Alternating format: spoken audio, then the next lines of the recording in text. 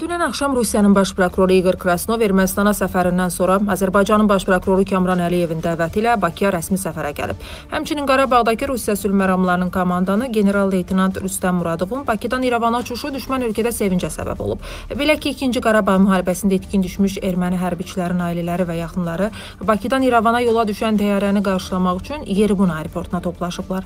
Bakıdan yola düşən təyyarə Yeribunu yenib, lakin Sputnik Armaniyanın aeroportda olan müxbiri bildirib ki, Hava gəmisinin içində Qarabağdakı Rusiya sülhməramlarının komandanı general-leytenant Rüstəm Muradovdan başqa heç kim olmayıb.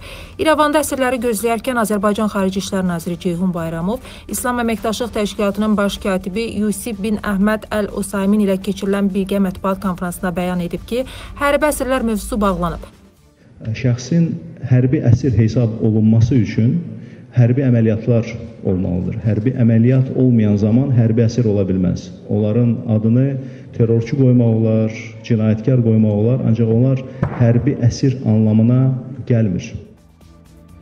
Bu arada Amnesty International Ermənistanın yalanlarını ifşa edib. Təşkilat tərəfindən hazırlanan məruzədə bildirilir ki, müharibə vaxtı nümayiş etdirilən video görüntülərdə hərbi əsirlərlə kobud rəftar, eləcə də Azərbaycanlı hərbiçilərin meyitlərinin təhqir olunması müşahidə olunub. Hətta boğazı kəsilən Azərbaycanlı sərhədçinin də ölüm anını qeyd edən görüntülər mövcuddur.